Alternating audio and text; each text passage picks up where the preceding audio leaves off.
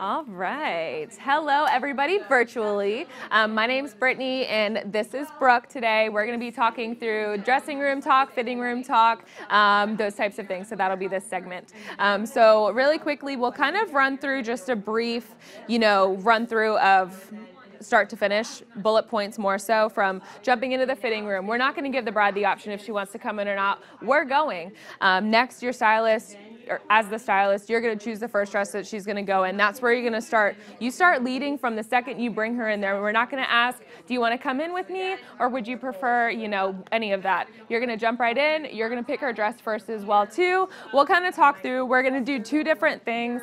Both A lines in here. One we're going to step into and then one we're going to go over the head as well just to kind of show that transition between dresses more so. And then getting that conversation going of talking about her fiance and those emotional questions questions and connecting questions as well too. So for us here at Ava Laurenne, we don't have any mirrors in any of the fitting rooms. We don't talk dress, we don't talk likes, dislikes. We're not trying to eliminate from the jump. We're going straight into tell me about your fiance, all of the things, because you get emotional in here, you talk through, you build her story in here to utilize out here. We don't need to talk about the dress in here, the dress out here. A little redundant, and then you have nothing to stand on when you start curating her story and everything as well too. So you get as much information in here as you can to then use out here.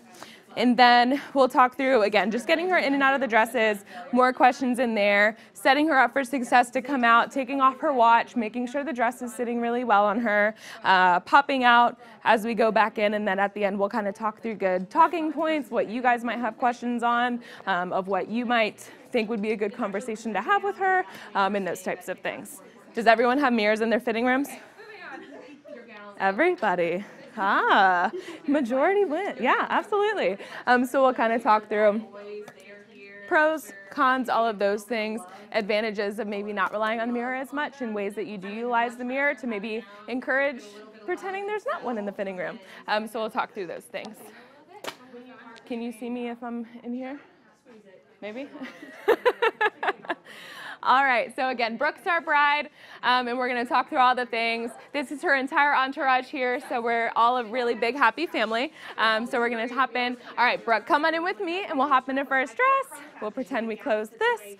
All right, so let's hop into first dress. What I'm going to have you do, get down to what you're comfortable in. Know that all construction is built into the gowns as well, too, so you don't really need to rely on a strapless bra, those types of things, um, and we'll just kind of talk through that as well. All right. This one I'm going to hand to you we'll actually go over your head as well. Make it a little bit easier. She can be a little tricky in the skirt. All right. So go ahead and shoot your arms up for me and then I will hand this over. All right. You come back. You always want to wait. You never want to stand there with the dress in your hands, like while she's getting changed, just like eagerly waiting. You're keeping yourself busy while she's changing. At that moment, you're ready to get her in. She's ready for you, and there's no you're passing dresses and all the things. All right. So, Brooke, tell me about your fiance. Kind of all the fun details about you guys. Yeah, absolutely. So, our parents actually introduced us. They've been what? for a really long time. Um, but it was kind of one of those weird things where it's like, our parents are best friends. Like, Were you guys like, was it like neighborhood best friends or like your parents even went to high school together too? No, yeah, we lived in the same neighborhood for a really long time, but we went to different schools, so we weren't really like in each other's like Like different circles for Yeah, sure. Absolutely. I, so how long has it been since you guys have been together? Yeah, we've been together for like four and a half, five years. Oh my gosh. All right, swing around really quickly and remind me your fiance's name. Will. Oh, Will. Uh, and high school friends, middle school friends, but not really reconnected. I love that so much. Oh, I'm excited to hear a little bit more. Go ahead. I'm going to have you pop your watch off for me.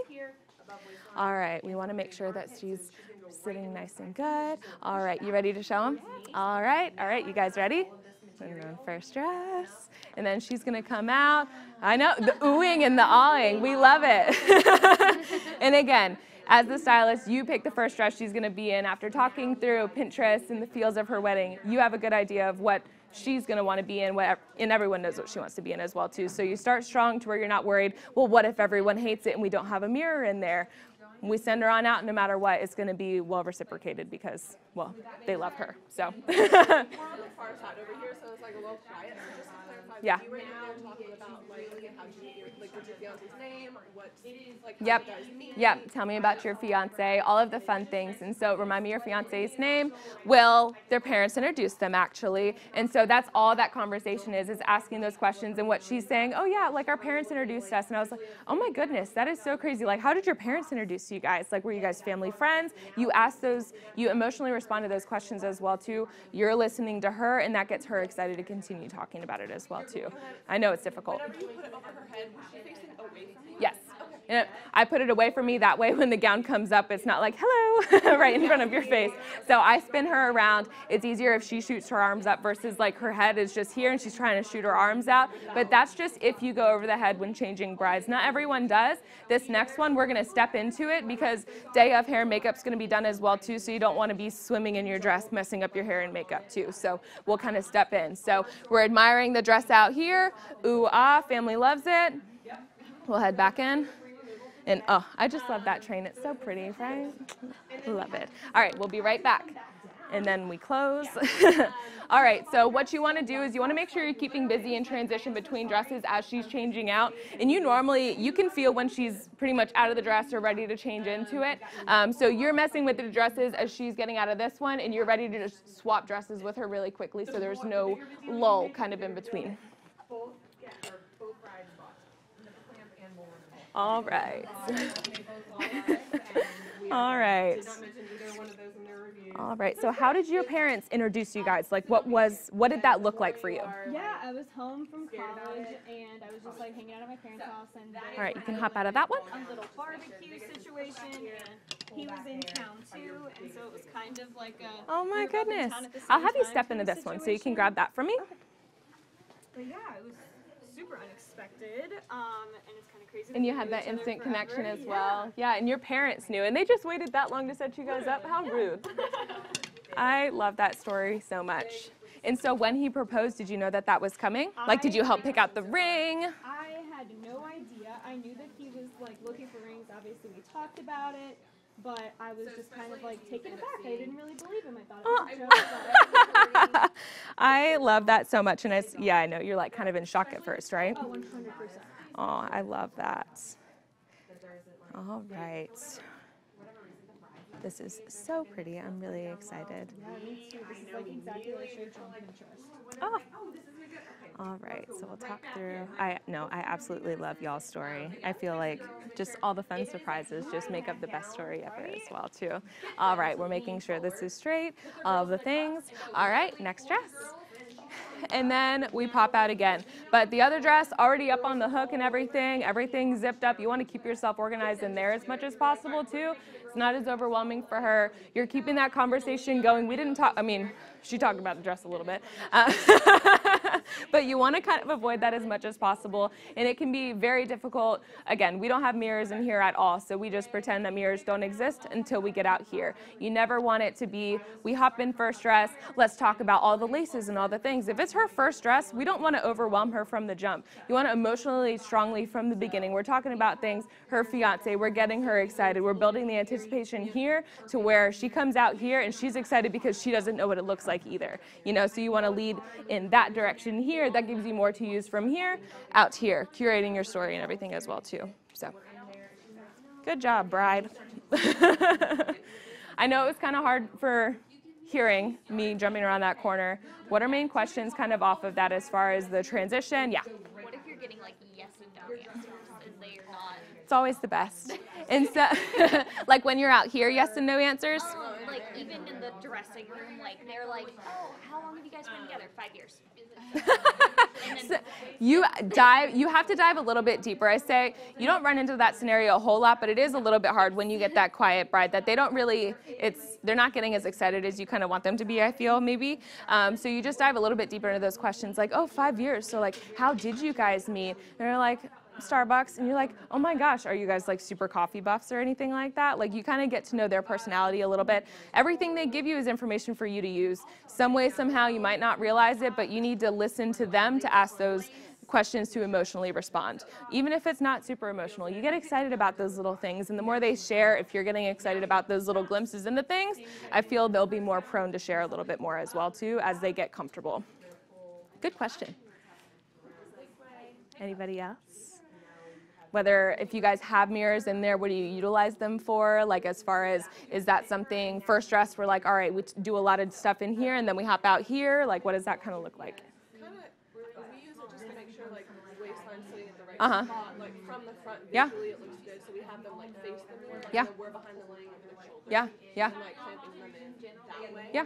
So I guess like if you don't, just out of curiosity, like because you guys don't have mirrors, what does that look like? Mhm. just know how it would sit from the back? Ex- Or- so, yes, pretty much. so you kind of see proportionally on the bride's body as you're zipping up, pretty much where everything needs to be. Sometimes it might be a little off center, everything, but that's why I had Brooke spin around right here, and we're kind of like looking, making sure. I know it's distracting right now. She had her tank top on, but you want to make sure everything looks really nice and flat. For her, you are her mirror. She obviously she doesn't see her reflection in that, but you're making sure she's looking good popping off the watch. I don't even know. We did that, I think. um, popping off the watch, setting her up for success out here, making sure you're pulling strong in a dress that you know she's gonna like in one way, shape, or form. Um, something that's similar to what she was thinking or matches the feel of her wedding. You know, you pull strongly to where you're not worried about what they're gonna think, even if you don't have a mirror in here. So I would encourage you, maybe block the mirror a little bit. You wanna talk emotionally a little bit more because it's so much easier for you to do. She's gonna wanna look in the mirror naturally. They're gonna wanna be like, oh, I wanna see, get a little sneak peek before everybody else because it's intimidating, especially if you had like a large party or let's say you're the youngest sibling of six sisters and they're all here and they're ready to like jump down your throat. It is intimidating, but they're also used to that because it's their sisters, you know? So you jump out, first view. Normally, we don't want them to get a view of the dress in there because you want that magic moment right out here too. Do you walk out the first, or do they go out? It depends. Sometimes it can be like a awkward situation to where the bride like doesn't know where to, but like, and it depends on which fitting room you're in. But a lot of times I like to just get out of the way and let them go. Make sure the curtain's out of the way. Not everyone has curtains to mess with, so maybe your fitting rooms are in the back of the store and they have to walk out to the front. You lead them to a certain extent to where they need to go, but then you kind of step away and let them be the statement so their people see it for the first time as well too. So it definitely depends on your space and how you want to navigate that as well, personal preferences and those types of things, but I would let the bride be the statement there because they are just as excited as she is to show them. Yeah, good question. Hopefully that answered that. Yeah. So what do you do in a situation where like sometimes brides don't want you in the room at all, and they'll like ask you to step out? How do you kind of like make a connection when you're like not there? Do you talk through the curtain because like the family's there? So normally we just don't even give them the option, and that's why it's so strong to lead from the beginning. They might be like, "Oh, I have Spanx on. Can I put them on really quickly?" And I'll be like, "Yeah, let me know," and I'll like pop right back in or anything. But it's the easiest for them, and you need to educate them as to maybe why you're in there, helping them in and out of the gown, all of those things. It, it does make life easier on them, but that's why we don't even give them the option. Let's say they are in a large group, or maybe it's just mom, mom-in-law, and bride. It's like, "All right, Casey, come on in with me, and like, let's go." if you just do it, they will do it. You know, versus giving them, all right, do you want to come in with me or would you prefer to be alone? We don't even give them the question. I actually like set them up for that in the Yeah. like explaining the appointment, I'm like, just to let you know, your stylist is gonna be in the room with you in and out, like. Yep, and normally it'll come off the conversation of like, do I need a bra? Like, do I need these things? Like, actually, no, all construction is built in, and your stylist will be in the fitting room with you, helping you zip in, so you don't need to worry about a thing. Giving them that security as well with the pre-call, that's a great point. Um, that also helps, but again, just leading right into, and that's how you assert your leadership in the appointment as well. So it's really strong. Maybe they might want to fight it a little bit. Jump right on in. Yeah, because I have Do it. she like asked, she was like, I don't want. Yeah, she doesn't want help. And maybe with that certain bride, maybe we kind of let her figure it out a little bit, and you slowly get to work your way in there as she asks for your help, you know? So sometimes those things you do have to navigate a little bit differently, but for the most part, don't even treat it like a question. All right, girl, we're hopping on in. Let's do it. You choose the first dress, you choose the timing of everything, you steer the conversation, you lead in every way possible. So Yeah. I have a question. Yeah. So we do have mirrors in our dressing room. Yeah. And one way you, we use, because we do talk about the dresses in the room with them. Okay. Um, just to kind of get their initial thoughts Mhm. and help them kind of process it before they get out. Yeah. And sometimes it is kind of a time saver if they get a dress on and they absolutely hate it. Mm-hmm. So, and then we don't even come out Mhm. and then we move to the next. Yeah. So is there, in your mind, like a downside to us doing that? Or I would say pull stronger. As blunt as that is, you want to pull a dress that you know is going to blow her mind, whether, and everyone's a little bit different. Sometimes you let the bride go through and pull dresses. Let's say this bride didn't show you a single photo, you don't have a leg to stand on, you have no idea, you're going in blind and deaf, you have no idea, like, really anything solid to pick up on. Let's say she pulls a dress off the rack and she's like, ooh, this is really pretty. I keep that one in mind, and that's going to be the first dress that we go into. It just makes it really helpful. And again, if they don't get the opportunity to be super critical out here, like I was letting um, a couple groups ago, I had a bride, I put her in exactly a couple of photos that she looked on Pinterest, and she absolutely hated it. It was the first dress that I put her in. I was like, ooh, this is gonna be good. She's nice and simple and clean. Absolutely not. And it's like, all right, we know exactly where to not go from here. And then you jump right back in. But then everyone gets to see that and they get to see that elimination in person as well too. And then that way, they're not missing anything that's going on in the fitting room as well too because the experience is as much for them as it is the bride too. So you want keep it emotional in here. We don't need to necessarily, all right, do a mini appointment in here and then do the exact same thing out here. Keep it emotional in here. It's fiance, it's wedding, it's what do you do for a living? What do you do for fun? Things, you know, all of those really just fun conversations that help you get to know her a little bit better to where you get to use them out here within your stories, curating her story with her dress and everything, connecting her family in as well. These are all building blocks for what you need out here. We're going to talk through the dress out here. If she doesn't like it, then at least people saw her in a dress and we get to make light of it and she modeled it for us and it looks pretty, but we don't like it and that's okay. And then off it goes. So I wouldn't, again, I would encourage you to try to ignore the mirror a little bit. And again, turn her around, just like I did with Brooke. I'm her mirror. I'm making sure everything's straight. We're talking through, we're still talking about her fiance, and I'm like, oh, this is just so pretty. And uh, you have a little story. Like, I'm so excited to hear all of the little details about you guys and everything. Uh, I can't wait for them to see this dress.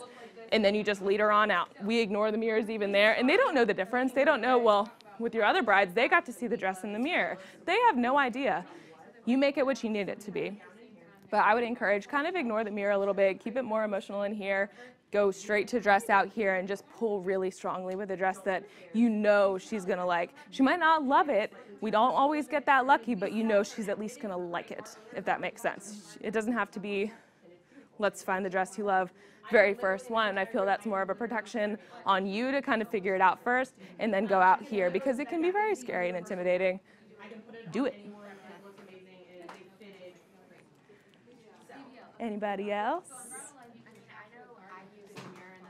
Uh-huh. after I've come out, Yeah, and there's been a really judgmental family, but I can tell that she Absolutely. the dress. Yeah. And I've used that mirror to be like, look at what you Mhm. like, and we talk through the dress just us. Yeah. With her looking at it Mhm. instead of with everyone else's opinion. Mhm. kind of backing yeah. But I always do it after. Yeah, and I think after is super helpful too, but you don't even need a mirror to do that, I would argue as well, because I've done the same thing. I had um, a super large appointment. It was all her mother's friends, and she had no connection to any of these people, and they were inserting all of their commentary, and it didn't make a difference to her, and it was very much a lot. Um, and so we did a lot of the appointment actually in the fitting room, and so we were talking through all the things. She obviously got a glimpse here. Um, she knew pretty much for the most part exactly what she wanted as well too. None of these people did. So we did a lot of work in there, getting her true honest feedback because it's hard to ask a bride sometimes out here like how do you feel like getting down to the nitty gritty when she's just overwhelmed as well too. So i think that's especially helpful digging down in here. But also you might not need a mirror to rely on that because she has seen it out here. Um, but i can see how that would absolutely be an advantage too to kind of take a deeper look into it. So i would definitely say after versus like especially first dress you want that wow to be like here not in there to where everyone wants that same exact experience as she's getting right out here so cool any other questions? Mia? Kind of oddly specific. I had a, I had Shoot. a few brides be like, I want to keep my bra on. I'm gonna wear one on my wedding day. At that point, do you just like? I mean, I already explained that like the dress Yeah. structure Yeah. and like all the things.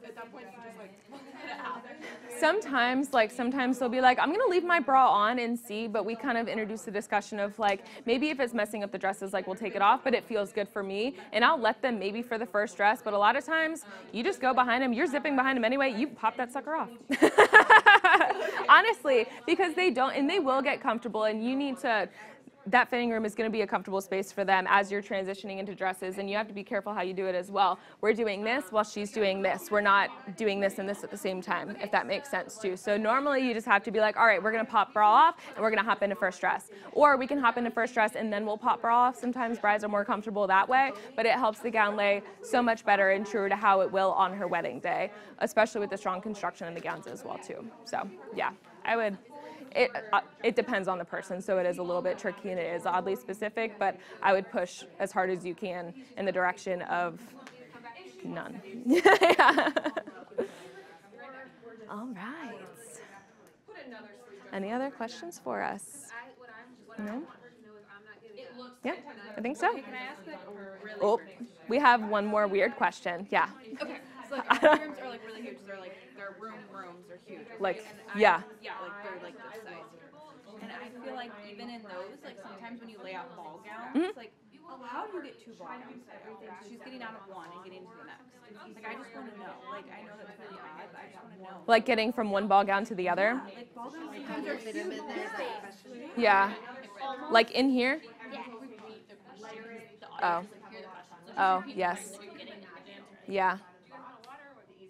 So we had a couple questions just now that we just answered as well. One was being if she doesn't want to take her bra off, how do we navigate that? So we kind of touched on that a little bit. We just got a question if we're hopping into two ball gowns, how do you fit them in the room or how do you dress her?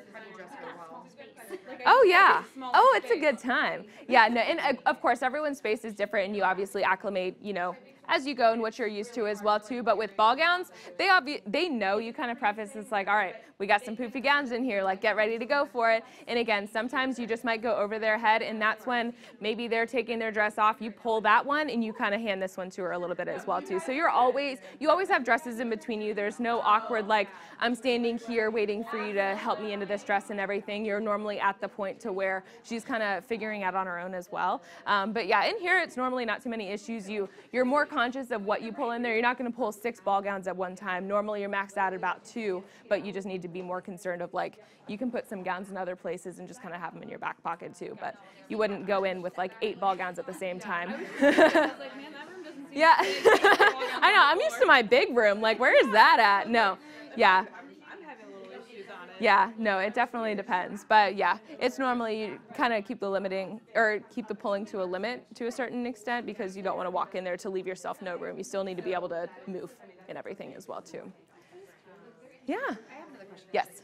So, we have had family members like mom or sister say, I want to come in the dressing room with you. Okay. During COVID, it was super easy to be Mm-hmm. like, oh, I'm so sorry. We can only have us in the dressing room. How do we kind of navigate away from that? Or should we try? Because, I mean, it, it ruins that emotional connection that you're trying Yeah, to make with the bride. like with the bride in the fitting got room. mom or sister sitting there Yeah. watching your every move and listening to everything you're saying. Yeah. All right. So the question is pretty much like when the mom or the sister really wants to get into the fitting room because obviously they know the bride better than anyone. So they feel maybe they don't trust you to a certain point. You know, sometimes it's coming from, you know, that heart a little bit. Um, but I would encourage, it's so strong leading from the absolute beginning. You establish your dominance, for lack of a better word, right in the beginning. You're like, all right, bride, we're gonna hop into the room, come on in with me, and then guys, we'll be right back. And once you gain their trust as well, too, they're not gonna wanna hop in there and fight over you and speak over you and everything like that as well, too. So once you're leading strong, you're pulling strong gowns as well, too, because it also comes into play, you know, when everyone's pulling dresses during your entire appointment, too. That's always super fun.